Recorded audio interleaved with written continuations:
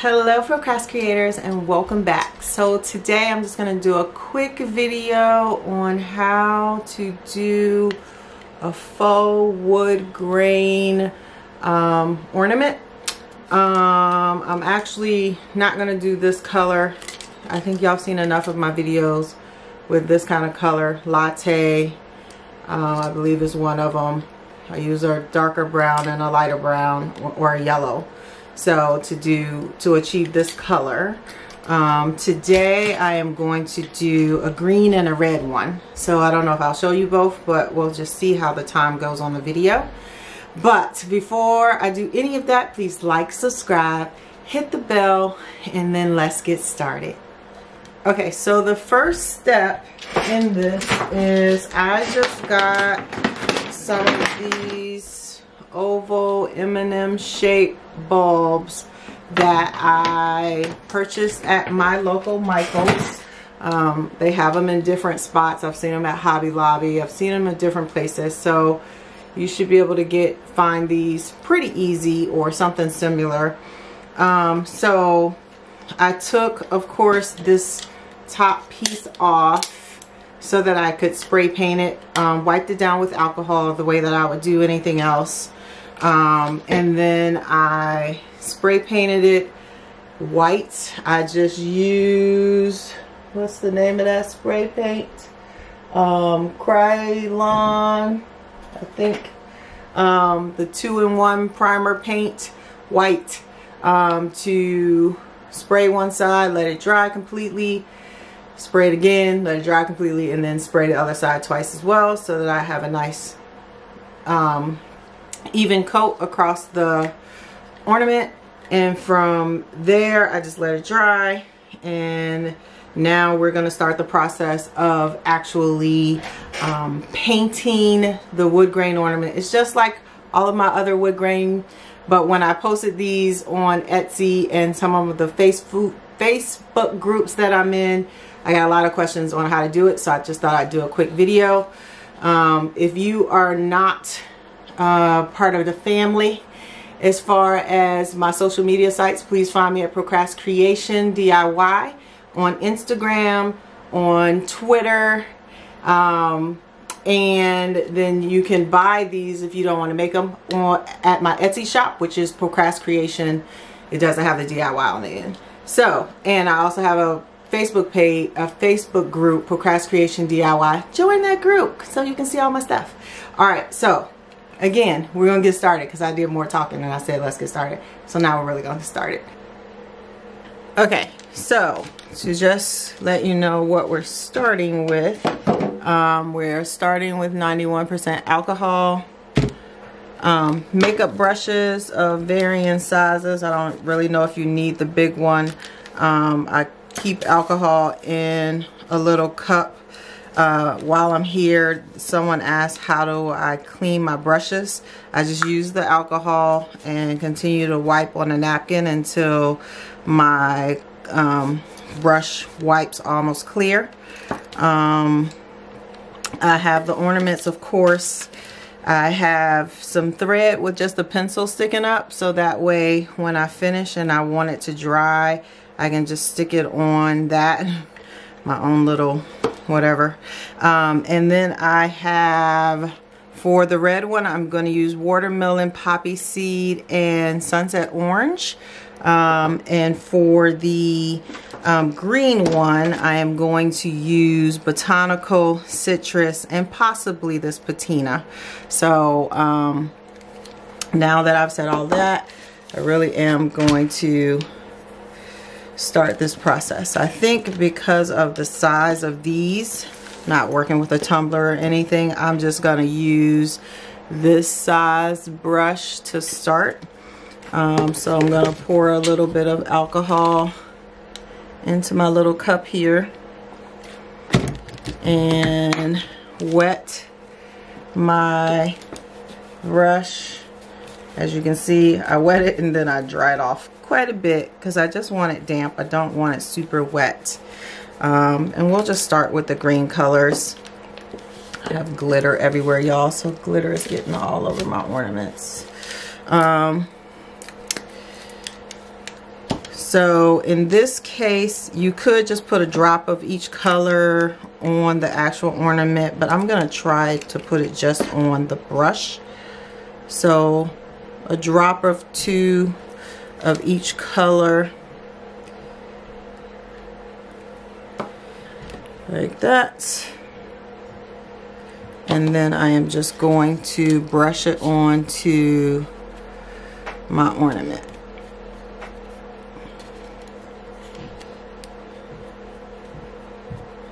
Making sure that I get the top and the ridges all the way around. So this bulb was again primed with uh, white spray paint that was primer and spray paint in one. Um, and once I get it completely coated like that, um, the next thing that I do will be to, um, and you don't want to brush too hard because you can pull the white paint off. So you kind of want to let this dry some if you can in between so you don't pull your paint off because you don't want it too wet because then it'll pull that paint underneath up. So, you know, you want to give it ample time to dry, which is why I'm talking so much right now so that I could do that. Um, and then I am just, you don't necessarily have to do this step because you're just making it, everything a little bit wetter. But I'm just putting a little bit more, a few more drops on and then I'm going to start brushing in. Woo, that was too many drops apparently. So I guess if you want to make it darker, this is what you do. Just go ahead and add yourself some more coats and you will get a darker green or darker whatever color you're trying to use.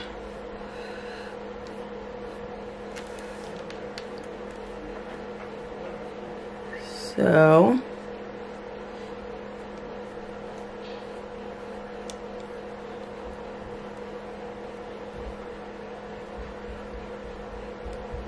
um, there you have that.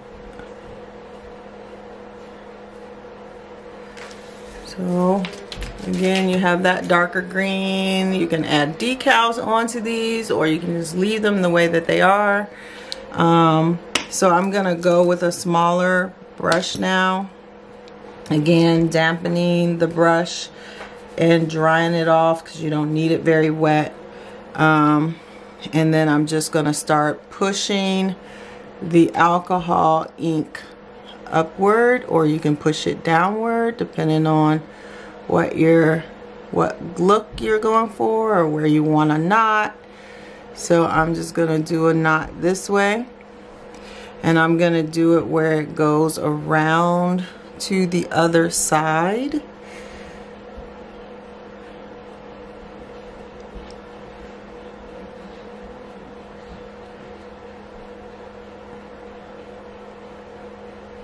So if you see that, you have that first little ring on both sides. And then from there, I'm just going to push up and add another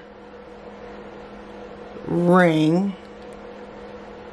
And again, you want to use as less alcohol and alcohol inks as possible once you start this because you don't want to um, weaken or thin out the paint that's on here.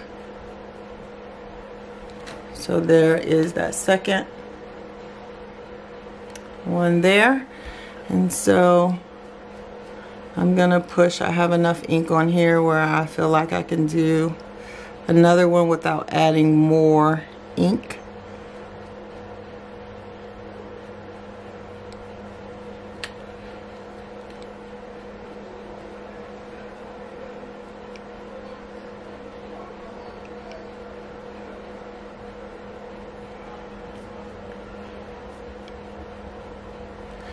And there you have another one there and then here I am just going to add one drop, oop, two fell down in there, of the darker ink.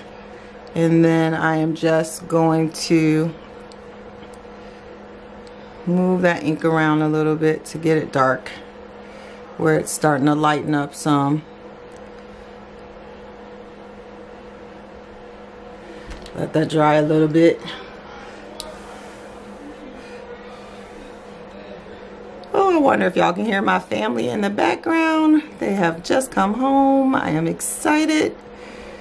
Um, and they are talking loud in there. So now my brush is getting too big, so I'm gonna use my smaller brush again, dipping it in the alcohol and then wiping it off on my paper towel and then going back in here and then just adding another layer. And like I said, you just got to be really careful with how much alcohol you have and how much alcohol ink you have on your um, ornament so that you don't have a mess on your hands or you get a hole into your design. Ah, look at that right there.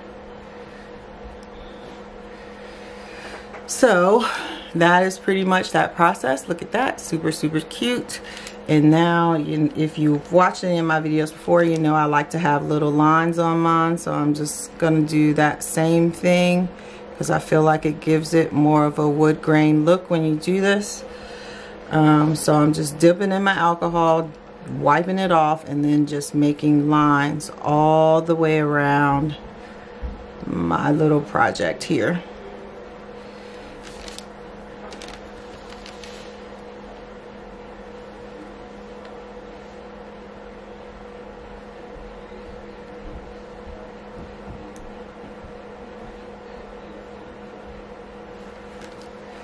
So and do that.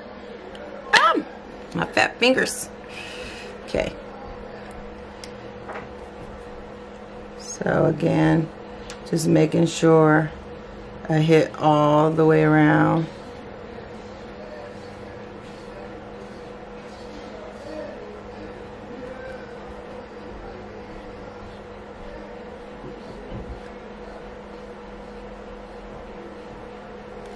And that is that. Look at that.